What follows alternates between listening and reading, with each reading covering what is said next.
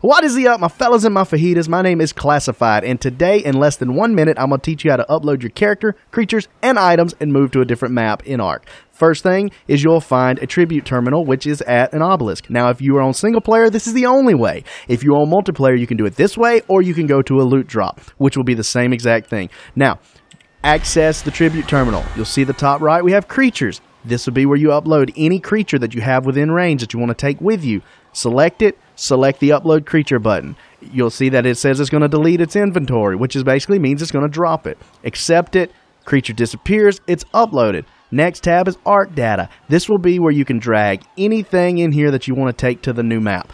Now, anything you do not put in here is going to get dropped. So, drag everything you want to take to the new map, and then once you're done with these two tabs, last but not least, upload Survivor. When you select this, it's going to tell you you're going to drop everything. Now, if you've already uploaded everything, this is fine. Hit accept.